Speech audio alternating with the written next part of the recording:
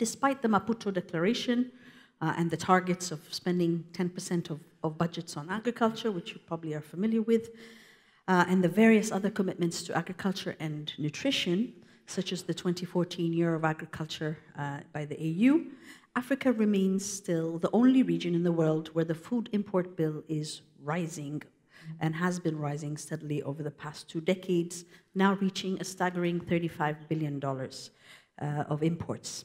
Yet the agricultural potential to not only feed itself, but in fact feed the world, is still uh, possible in Africa. 67% of the world's remaining arable land is in Africa. Uh, and yet agricultural production has, only, has the lowest capa capital intensity in the world. And yield, or output per hectare of land, on farm remains at only one fourth of its potential, which means we have a, a ways to go uh, uh, to, to really um, extensify and intensify agriculture uh, in Africa uh, through concerted efforts to increase high-yielding seeds, disease resistance, fertilizer, better ag practices, etc., etc. On the nutrition side, despite progress by individual countries toward improved food and nutrition security, Africa overall has made insufficient progress to meeting the goals of ending hunger and malnutrition. In fact, malnutrition and undernutrition are on the rise. Africa, together with Asia and the Pacific accounts for 750 million people, or 89% of the world's hungry. According to the latest FAO estimates, the increase in food prices between 2000 and 2000, uh, 2007 and 2009 plunged an additional 24 million people into uh, malnutrition in sub-Saharan Africa alone. Africa is home to 15 of the 16 countries where prevalence of malnutrition has exceeded 35% of the population. Against this wider context, and still bearing in mind what Ndidi told us this morning about the Africa Rising story, uh, and therefore full still of optimism, we want to delve in this panel on how to move forward with a positive approach to address the following questions. What's working and what is not? What do we need to do differently, better, smarter? How do we scale up success? What is the right entry point for philanthropy? does philanthropy have a unique role to play in this issue uh, or in refining the model? If there were one or two game changing interventions, what would they be? What are some bold steps and big bets that philanthropy can take to make a difference? Who are the natural partners from philanthropic, public, or private sectors? Are there opportunities for collaboration and pooling resources uh, within countries, across countries in Africa, and across the globe? big questions, important stuff. And now I'd like to uh, introduce the panel. We will be hearing from them over the next 40 minutes in a conversation. Uh, both are likely known to you. Mamadou Biteye, on my left, is Managing Director of the Africa Regional Office of the Rockefeller Foundation and has decades of experience and expertise in the development sector in Africa. He co-designed a microfinance program with Oxfam and now oversees the foundation's work across Africa, including initiatives such as AGRA, the Alliance for Green Revolution in Africa, uh, transforming health systems and informal uh, workers' health. Martin Short, on my right, is CEO of Power of Nutrition, which is an exciting new initiative uh, based in London, I believe, uh, which is formed as a partnership of like-minded investors and implementers committed to bringing, uh, to helping children grow to their full potential ending the cycle of undernutrition, and enabling countries to build strong and prosperous communities. They aim to unlock a billion dollars of financing, uh, of new financing, to accelerate the fight against child undernutrition faster and on a scale that few can achieve alone. So, with this um, introduction, I'd like to um, uh, really kick off, and we will, by the way, have about 20 minutes uh, at the end uh, of, their, of this discussion to uh, hear from you. So we're going to focus on three themes, what works, how we can do more and better of what is working, and how we leverage partnerships. So I'd like to start with Mamadou, uh, since Rockefeller has been engaged on agriculture for some time. Can you share with us where you see the efforts have succeeded and your, and your thoughts on what are the game-changing initiatives and where we should be focusing if we are to achieve big and bold. thank you very much, and uh, good morning, uh, everyone. I'm uh, very delighted uh, to be here Uh, today, and uh, also thank GPF for the opportunity uh, to be part of this uh, conversation. Um, I, for those who don't know the Rockefeller Foundation, I would like to say that it's a private philanthropy that has been created by John D. Rockefeller 103 years ago with a mission of uh, improving well-being of humanity worldwide. Uh, over 100 years, that mission has meant different things. And uh, today, in the 21st century, uh, it means two things to us, uh, at least, uh, which are really big challenges. one is really how do you address and bring about solutions to the growing inequality in the, in the world today inequality between individuals, between communities, between countries, and you can even say between continents, uh, which uh, leaves uh, the most vulnerable actually outside of uh, the benefits of globalization.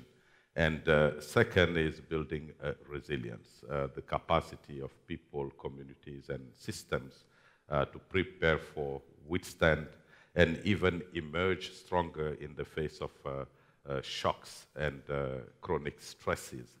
Uh, this means addressing big Uh, challenges that the world faces today. And one of them actually is uh, agriculture and has always been actually since humanity.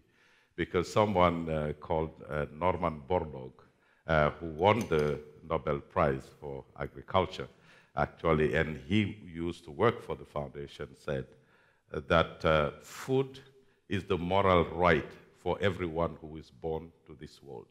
So uh, addressing the challenges of uh, food security has been at the core of uh, the Rockefeller Foundation's work.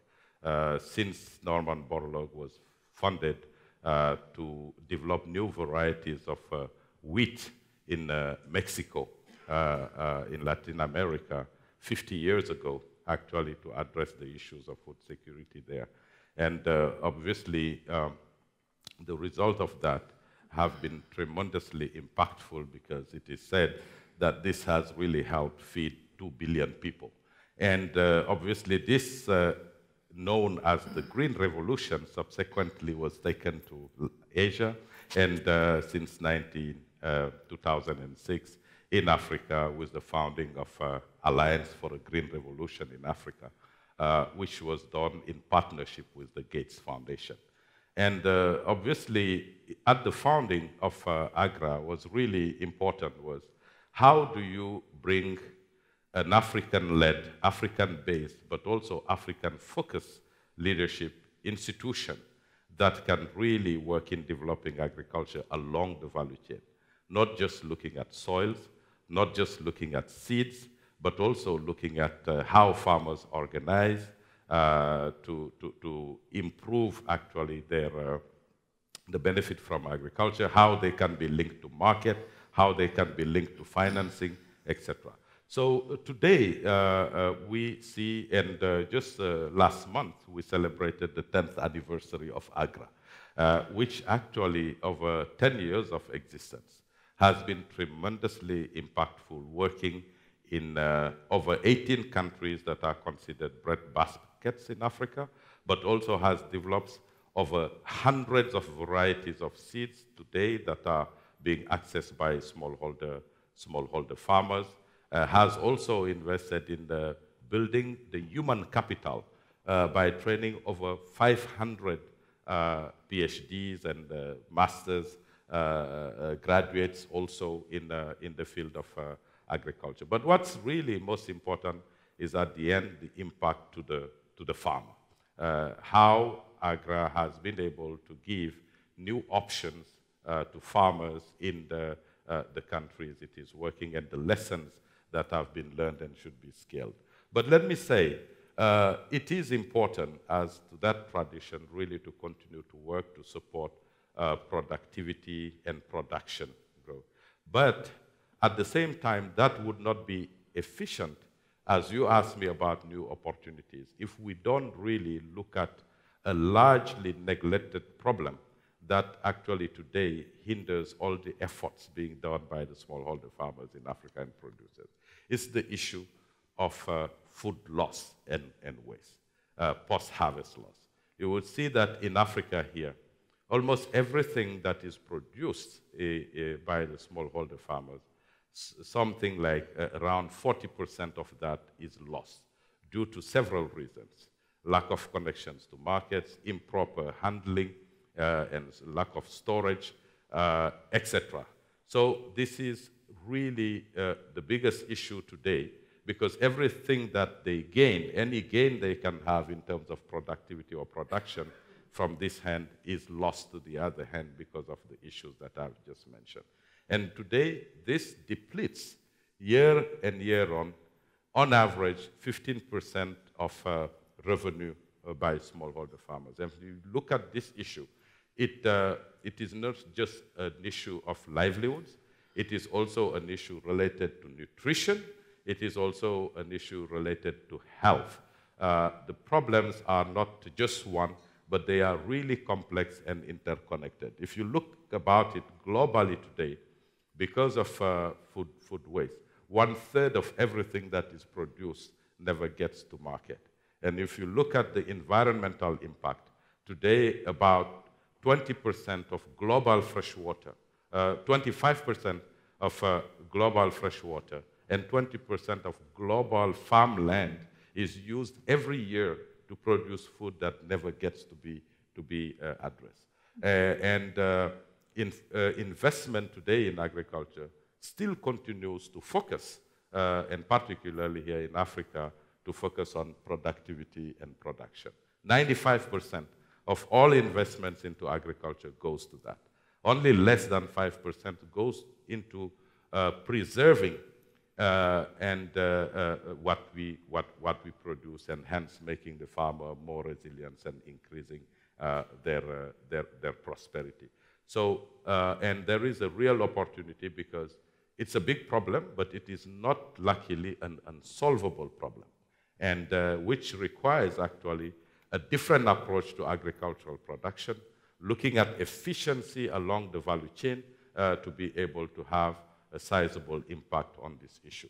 So this is why actually recently uh, this problem has been recognized by uh, world leaders and also in Africa.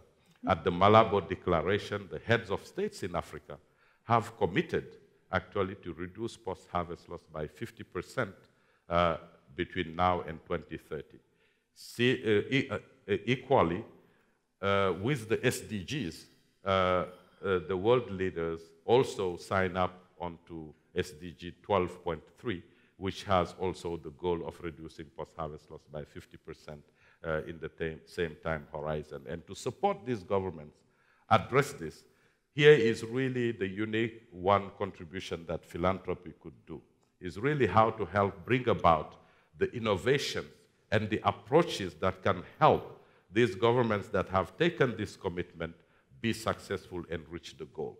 And this is why earlier this year in January, the Rockefeller Foundation launched uh, a new initiative called YieldWise. Uh, YieldWise, which is a several hundred million dollar commitment over seven years, uh, starting this year, is looking at how we can demonstrate in a catalytic way that post-harvest loss can be reduced, looking at um, uh, representative uh, uh, value chains, or representative, uh, or if you wish, value chains that are representative of the different crop categories that we have. Uh, and we're doing this demonstration with mango uh, in Kenya and maize in, in Tanzania, and also tomato in northern, in northern Nigeria. This is also looking at those uh, crops actually that are significant in terms of uh, food security, but in terms of also prosperity.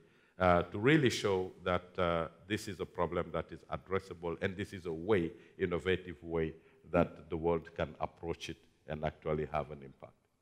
Excellent, really interesting, and uh, I actually wasn't aware of, of this new initiative at the at the Rockefeller Foundation, which I presume is being delivered with AGRA. Uh, well, actually, we, yes, we work with different partners on this. Uh, we definitely work with AGRA in the maize value chain in Tanzania uh, uh and uh, with uh, also TechnoServe for, for the mango value chain in Kenya and PYXERA Global for the tomato value chain in northern Nigeria. But all of them have one similarity. It's really about how do you bring together the farmers, the private sector, uh, government, uh, and uh, innovators, and how can we all together invest in people, the human capital, how can we invest in innovation and uh, ideas and new approaches actually to address this uh, big problem. Excellent, excellent. Thank you very much. And that certainly is a big and bold bet to try to uh, re restore one third of what's produced back to, to the consumer's table.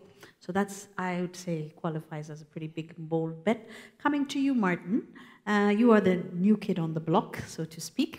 Uh, and uh, so we're really excited to hear about Power of Nutrition, which I believe uh, made its first investment in April 2015, if I'm uh, not mistaken, and you can correct me, please. Uh, so what's different and new about your approach? Thank you. Um, new kid on the block, indeed. Next, you'll be calling me young, but we'll, we'll wait for that for a second. Um, well, the power, if I just go back just a, just a little bit and just give some people here some history about the power nutrition and, and really the, the homework question that was set, I think back in 2013 at the Nutrition for Growth Summit was um, nutrition belatedly has come to the development sector as being recognized as um, critically important for uh, not only the individual, the community, um, the villages, the economy, but, um, but also in terms of the state of play of where we want to see Africa and indeed Asia in regard to um, competing on a global and, a, and a, an even platform.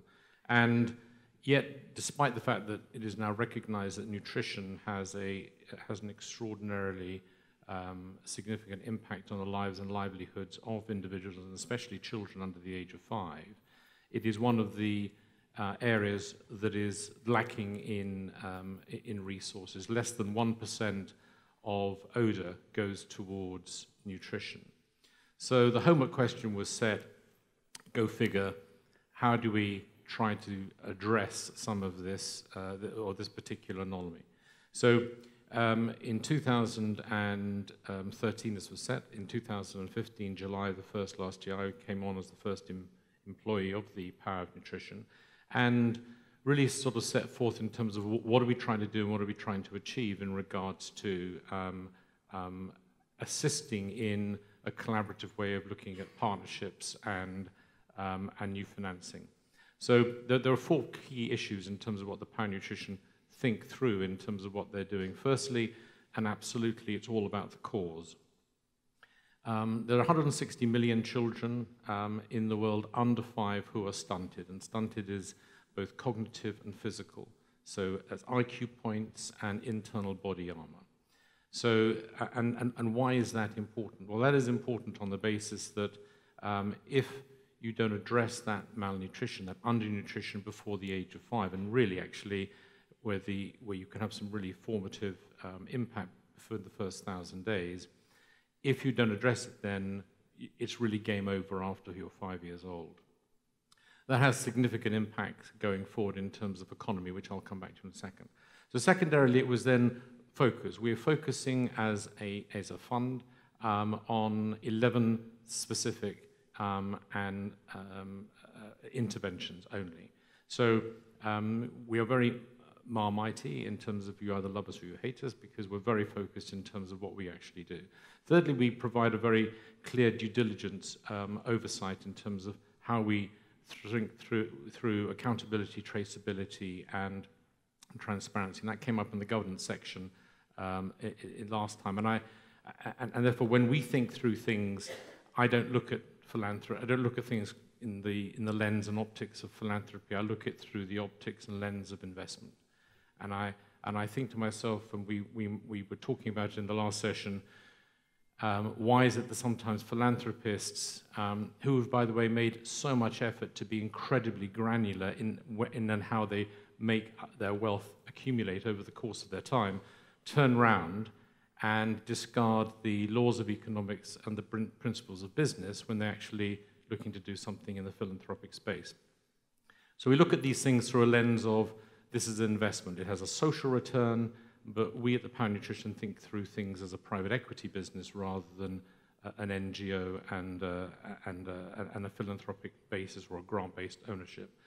Um, and then fourthly, it's the, it's, the, it's the leverage, it's the co-financing. So we are able to, through pre-agreed partnerships, um, uh, leverage or co-finance any money that comes in um, to the Power of Nutrition four times. So we have a $10 million comes in, we have a matching at the first instance by the UK government, we then have a match through UNICEF and the World Bank and our partners on the implementing side. So a $10 million investment becomes a $40 million intervention. So things at scale. So therefore that takes us back one step in terms of what is the model in terms of partnerships. We are not implementing an implementing organization. We work through existing value chains and try to improve upon those rather than try to reinvent them and do things separately and in parallel to existing value chains that are out there. And one of the critical aspects that we think, and was mentioned again in the last, um, uh, in the last session, about how do you get systemic change? You get systemic change from a top-down approach. So both UNICEF and the World Bank have a seat at the table of influence within governments. If you can get systemic change and try to get more money into the nutrition space, not just from other sectors, but from national governments at the same time, this is something that I think can really um, be very formative in terms of um, changing the way that we do business generally. So, and, and, I think lastly, in terms of just that model, we're very private sector orientated. So we're trying to get new money into the nutrition space as opposed to double count nutrition money into the nutrition space.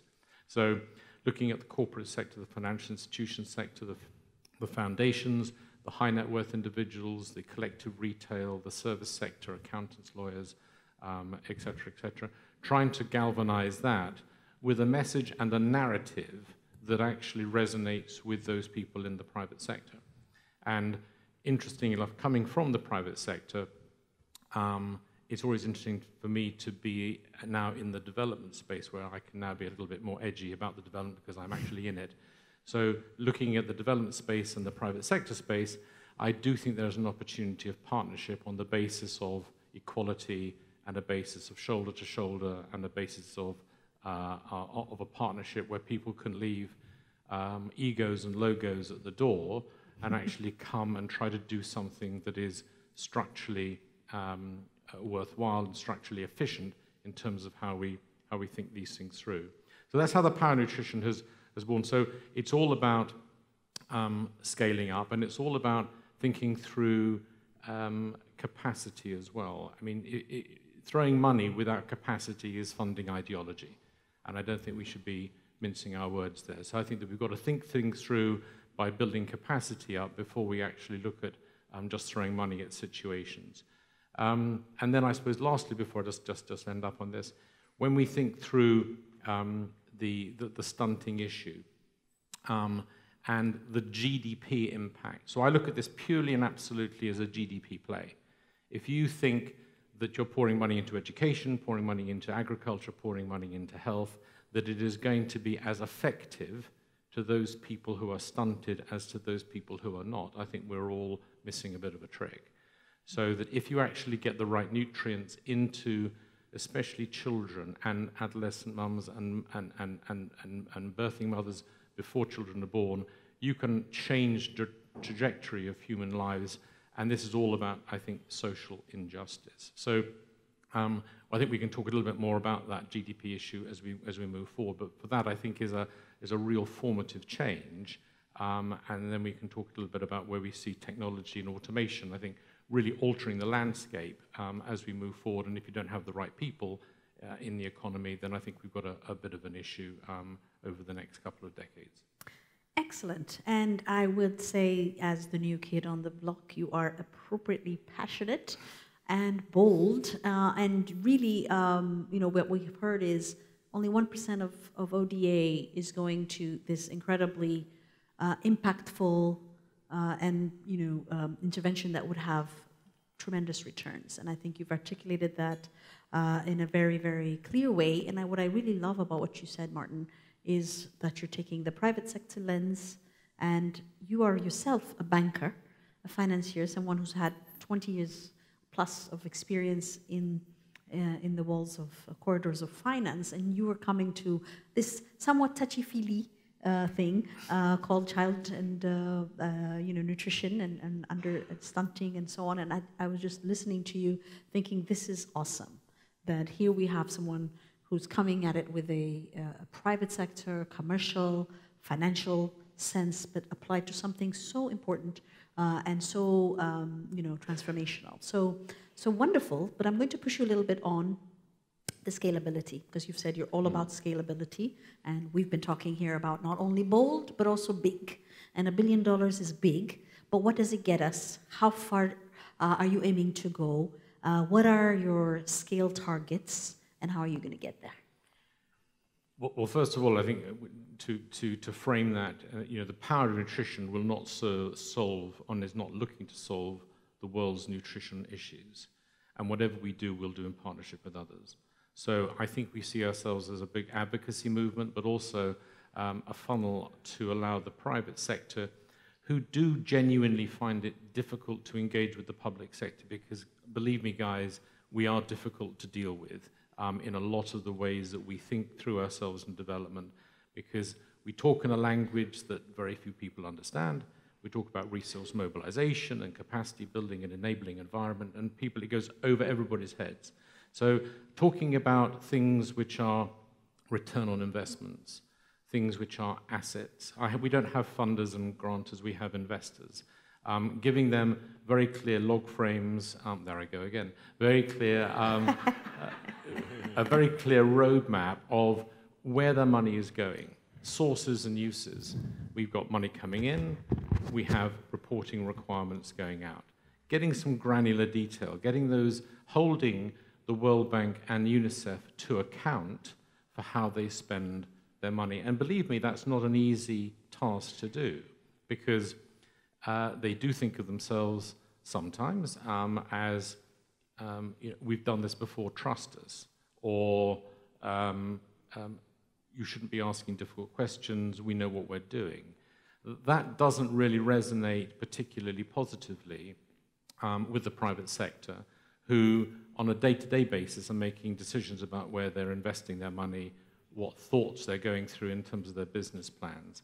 So they want to have some granularity in, in that. And also, it's not just about giving money, it's also about how we can use the, the private sector um, experience and resources to um, to further the development issues around nutrition, whether that be in the delivery systems, whether that be in logistics, whether that be in advertising, whether that be in delivery system, whatever it happens to be, I think it's really important that we utilize all the assets of the private sector and not just the monetary ones. And, and by the way, we've also got to get very, very used to a couple of things. Firstly, there is a question that everybody asks, are the private sector only doing this because there must be something in it for them.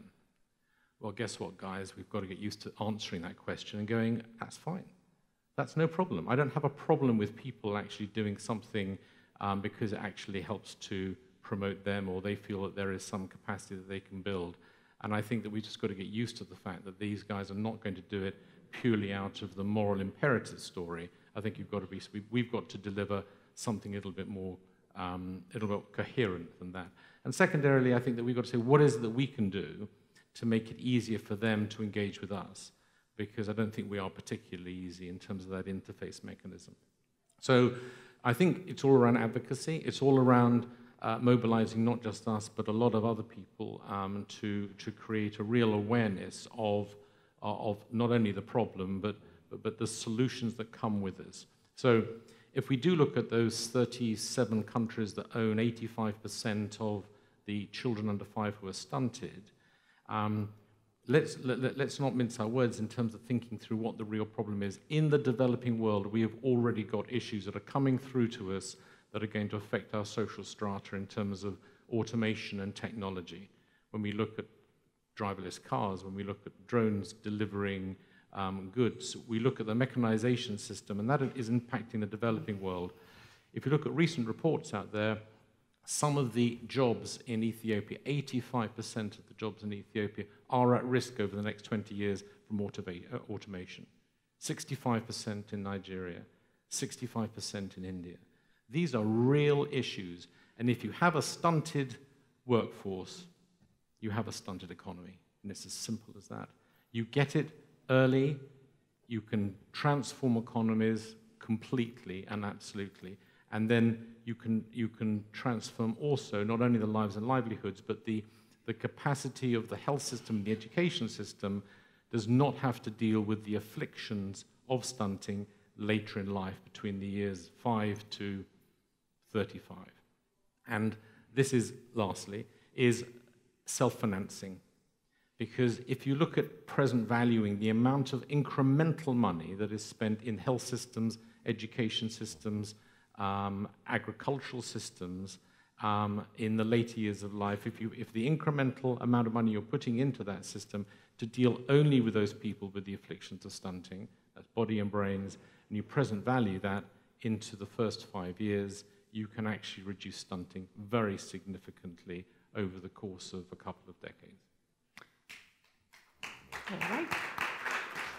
Big numbers, big numbers. We're going to come back in a second. But, Mamadou I want to come to the Rockefeller Foundation um, and the various interventions that you've had um, and really kind of try to explore the same question uh, I just asked Martin, uh, which is about scale and scaling up and, uh, and really where are we on achieving the scalable um, targets that we, or the scalability targets that, that we have. Uh, obviously, um, you know, the, the, the, numbers that we're talking about, 80% um, uh, of the workforce being in most countries in agriculture, 70 to 80%, 40 to 50% of GDP being in agriculture. These are massive, massive numbers. And um, so I guess one of the questions would be, um, what's worked in, in, in the scaling up that you've been attempting? Um, obviously, you're working with others, but if, if I were to uh, pick a program that I know about at uh, the foundation and, and now with the AGRA, which is the spread of rural agro dealers to deliver inputs to farmers, um, where are we on the on the scaling up of, of what's been, I think, a proof of concept, you know, past the proof of concept stage? Um, how are we scaling up? At what cost? Uh, and uh, what are the uh, sweet spots, if you will? And, and you can talk about other programs if you feel that there's a better example of, of, uh, of this uh, lessons that we can tease out. Okay, no, thank you. I, I think that uh, when we talk about scale, it's really um, something that we don't do after. Mm. It is something that we need to build within, within whatever intervention it is, starting from the beginning. So um, let me just talk about uh, YieldWise and how we are looking at uh, really uh, scaling around this.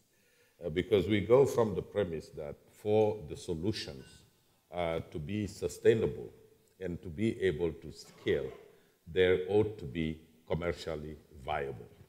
Uh, so this is why actually I talked earlier about the role of private sector, private sector in this.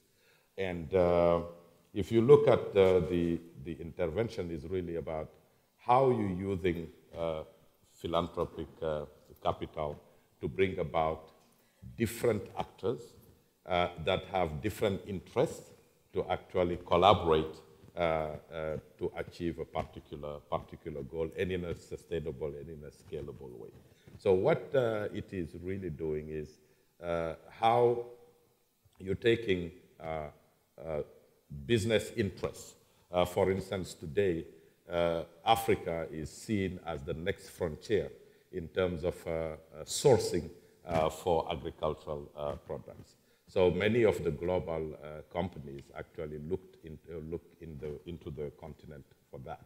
Uh, and one example I can give is the example that we're doing of the work in the mango value chain, whereby actually Coca-Cola, which you know, uh, is developing uh, a product here in Africa, uh, a beverage called Minute Maid.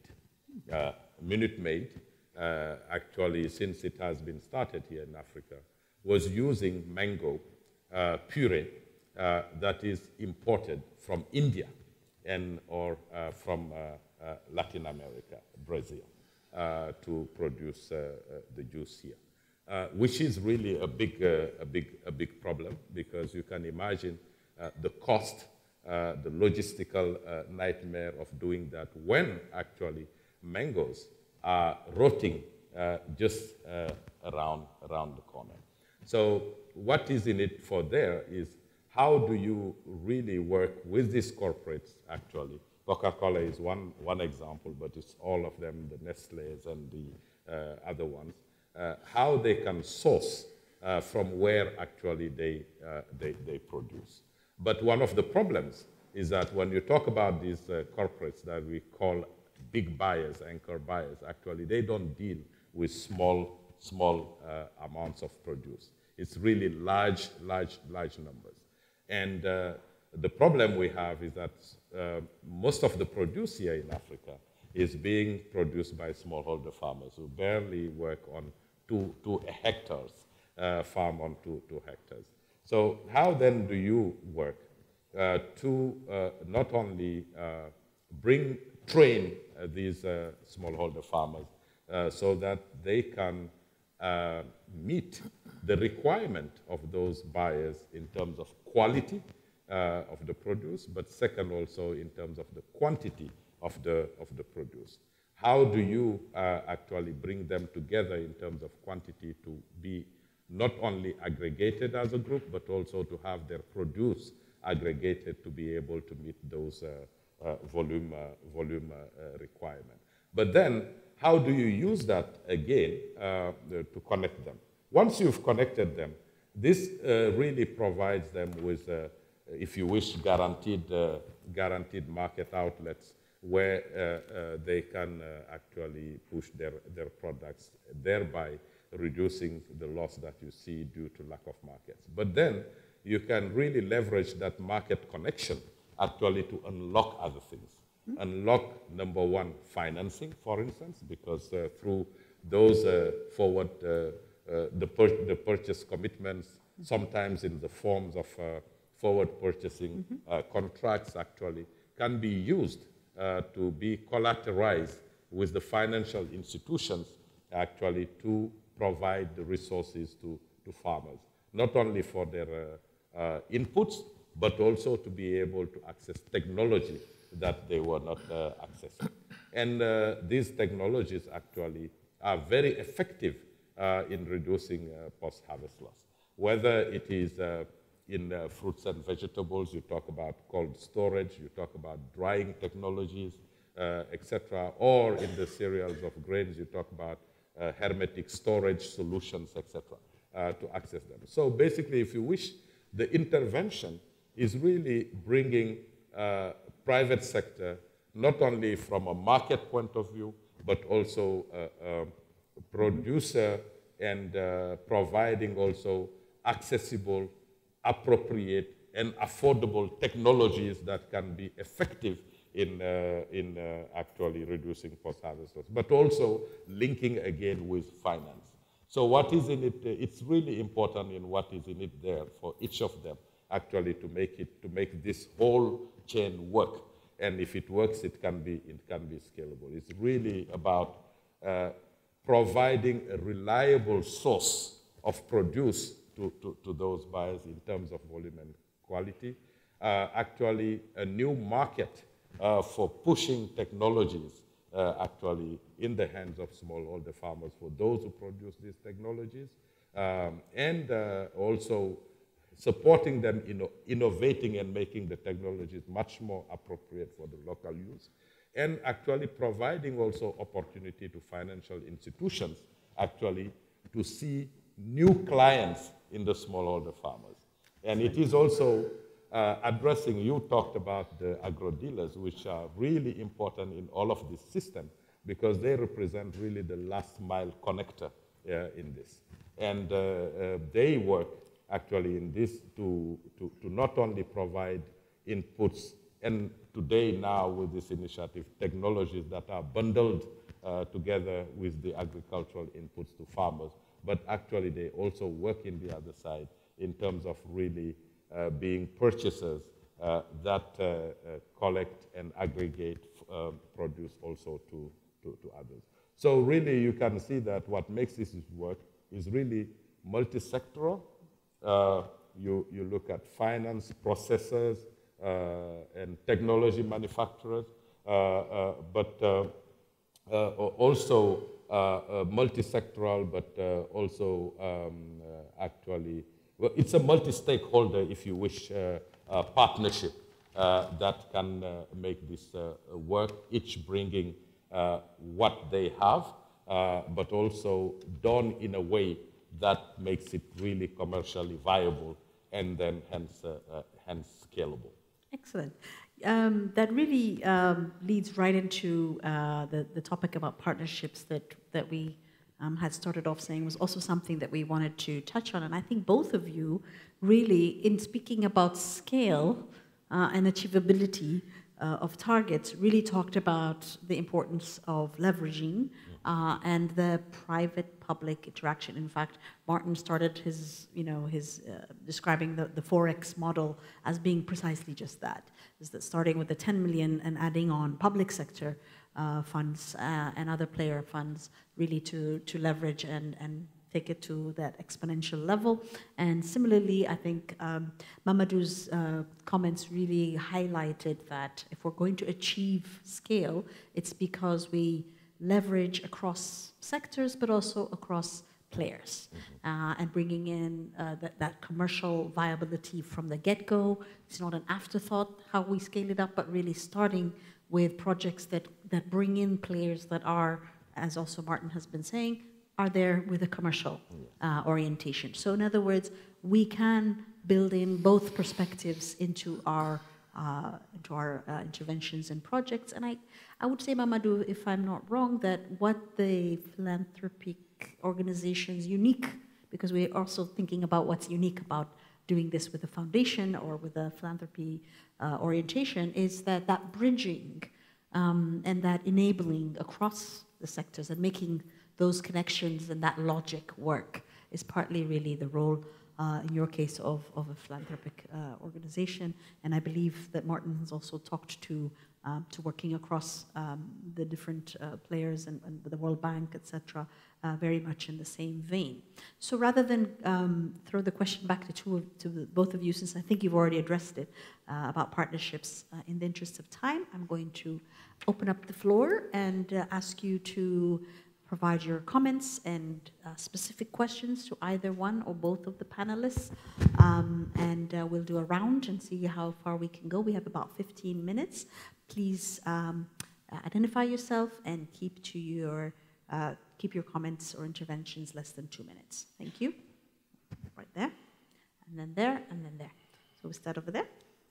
Hello, hi, good morning. My name is Estelle Youssef. I'm a journalist. I wanted to ask a question to uh, Martin Short and thank Mamadou for the presentation. Um, can you talk about, I you know, scrolled on your website regarding your investment in Tanzania. Uh, can you explain what it is and what you're doing and how it works? Thank you so much. Okay, we'll take a couple of questions and then come back to you. There's the uh, person here in the middle. There you go. Thank you. My, my question is directed also at Martin. My name is Namsa Daniels, and I work at the Graça Machel Trust. Um, nutrition has been one of our core focus areas, uh, particularly um, from an advocacy standpoint uh, to raise the visibility of nutrition as a development issue. And I'm uh, very pleased to hear that you're mobilizing um, significant funds for nutrition. But what I didn't hear uh, in your description was how you intend to channel those funds to civil society organizations that are at the coalface of doing the implementation work, but also a lot of the, the advocacy work. Um, we, for example, have been working with nutrition alliances in three countries, and some of those alliances have as many as 300 members. Um, but a lot of them are weak, um, you know, organizations. They're fledgling organizations, and they really need a lot of capacity building support in order to be more effective. Thank you very much. That's uh, both of you have kept well within your time, and we have a question right here, and then I'll come to you. Thank you. Um, my name is Anna Ginn. I work with the Synergos Institute. And um, uh, first of all, I just want to applaud the work you guys are doing. Uh, we all know multi-stakeholder, multi-sectoral partnerships are difficult, and I think nutrition is really a place where, you know, we can all learn about how they're working, how they can work better. So I have two questions, you know, it's one question along this spectrum. One is, how is the voice of the farmer um, being, you know, part of the conversation? And the second is, how do you get people to leave their ego and logos at the door? it's, it's, it's the, if we don't have the farmer, and if we don't have the whole participation of our corporate partners, we don't have the multi-sectoral partnership we want and need. And you both mentioned really important pieces of that. So thank you. Excellent question. Uh, and I personally would also like to know how you leave your, how people leave their egos and logos at the door. Question right here. My name is Onyekachi Wambu from Afford. Uh, my from where? Excuse from me? Afford, the African Afford, okay. Foundation for Development. My question is for Mohamedou. Um, I was reading about the earlier um, Green Revolution in Asia and a book about that, and it was very exciting. And uh, if, if, a similar thing can be achieved in Africa, it'd be great. But given the uh, controversies around, you know, particularly genetically modified crops, I wondered what role those were going to play in the Green Revolution in Africa. Okay, uh, we have a question right here, and I think we can take one more and then come back to, um, since we've had uh, some, okay, uh, yes, the gentleman, please. Um, yes, there you are, and then the lady right in front of you. Okay. Thank you for the presentation. My name is Junaid Duplessis, Impact Investor at Abraza Capital. I have a question from a more practical and cold-faced question about land. I noticed that it wasn't a theme and the word land wasn't even mentioned in the entire discussion. And yet when you're talking about agriculture and, agri uh, and agriculture processing, land and the impact um, investor is probably the, the, the, biggest challenge that we face. Land ownership, who owns the land, dealing with uh, tribal leaders. And so um, what advice would you give to people that are the cold face um, from the large organizations that you present that how do we address this important issue um, to move agriculture and agri, agri processing forward on the continent. Okay, thank you very much. Right in front of you, yes? Okay, my name is uh, Fangai. I am a Zimbabwean but a business entrepreneur based in the UK. I am in the software space where we do the actual development of solutions, focusing on the social inclusion element bringing digitalization to Africa and bringing solutions. I'm more interested in asking Martin on the digitalization in terms of automation. And we seem to be facing a lot of challenges in terms of the acceptance of the automation um, in, in the sense that digitalization has got simple solutions that can save on cost, but the actual introduction and the rolling out seems to be a challenge. And how has been your experience in this part and how can we make that easier in the African space because uh, our bases are based in Asia and we find that in Asia, you walk into Asia, you don't need to even handle money at all throughout your whole stay because everything is very digital. And our idea is that we believe that it can make a huge difference on, on the African space. Thank you. Thank you very much. I've got two gentlemen, and I think we're going to come back to our uh, panelists. So uh, USAID, uh, Nicholas, and then Tony from Sahara Foundation. Good afternoon. My name is Nicholas Bassi. I'm with the U.S. Agency for International Development.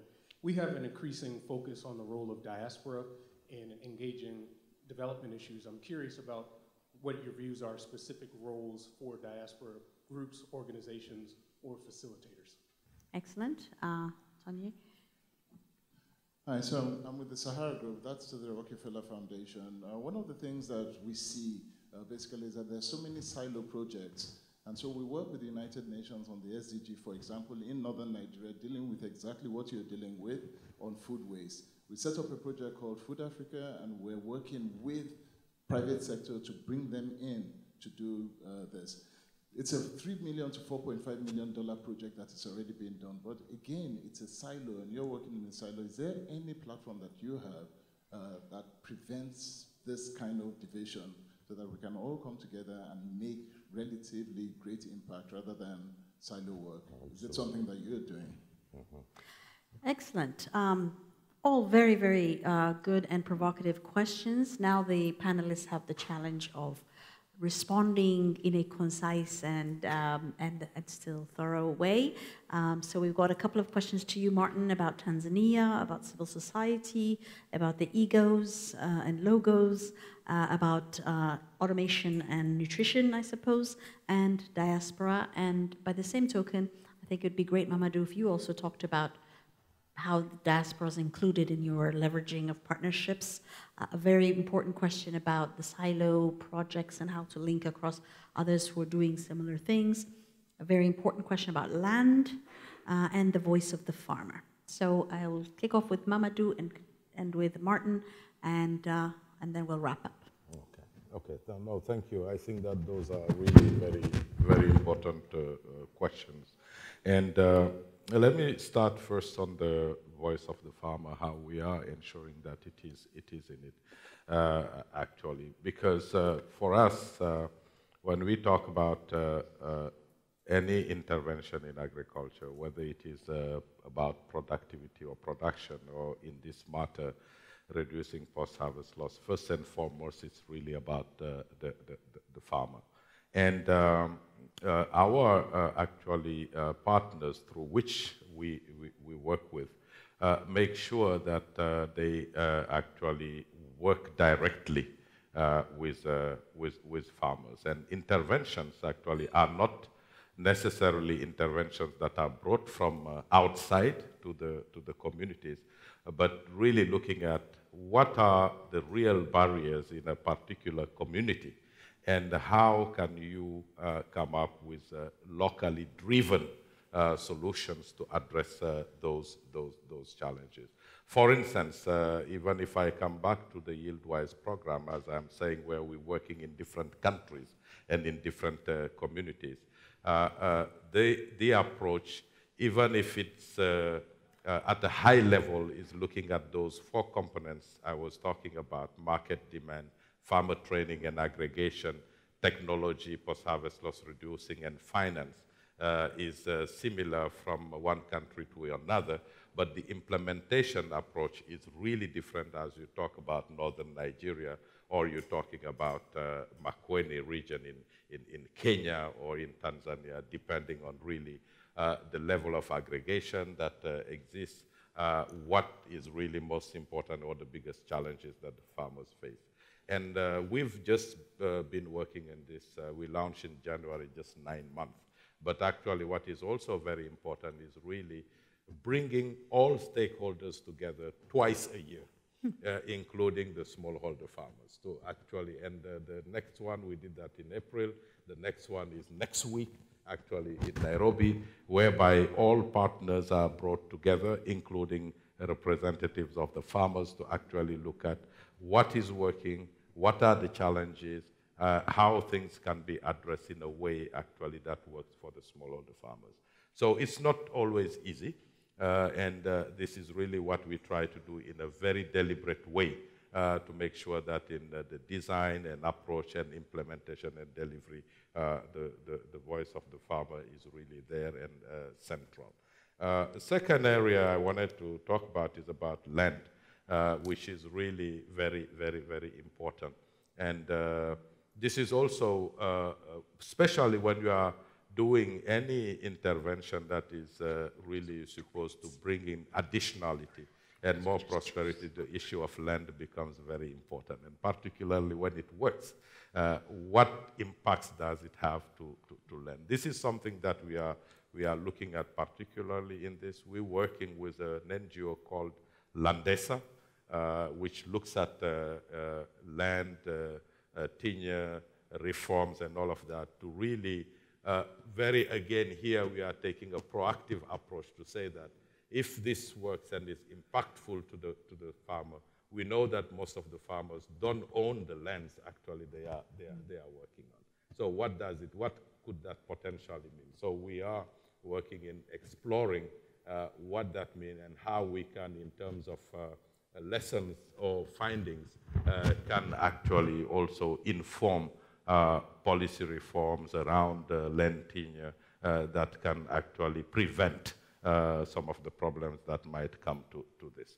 But it's also about uh, really, uh, that's really a big problem that I must say in most countries in Africa, where actually the land tenure system is not quite very, very well uh, organized.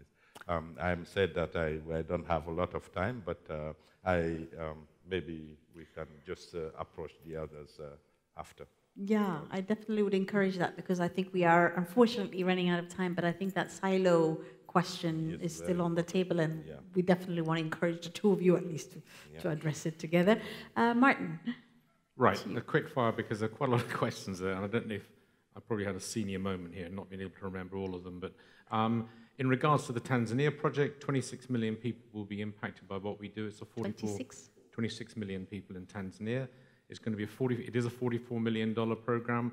It's based around um, vitamin A, iron, folic acid, and a very community and health worker-based education system, plus influencing government to ensure that they put um, money to the table in terms of nutrition, making it a priority. So it is all about systemic change, and I'm very happy to go into a little bit more detail about that afterwards, if that's okay with you. Um, in regards to um, nutrition advocacy and how do we channel money, we work through the World Bank and the UNICEF. We're a 14-man operation based in London alone. Um, we don't have the ability to go and do a significant amount of due diligence with smaller advocacy groups, albeit they do a fantastic job. But we do work through the World Bank and the UNICEF, and we're very happy to put you in contact with them in regards to them doing some contracting work, because uh, these guys do not do the last mile implementation. They work through other people. But it's because of their influence at the table of um, decision making that actually uh, allows us to go through these very large um, individual value chain providers.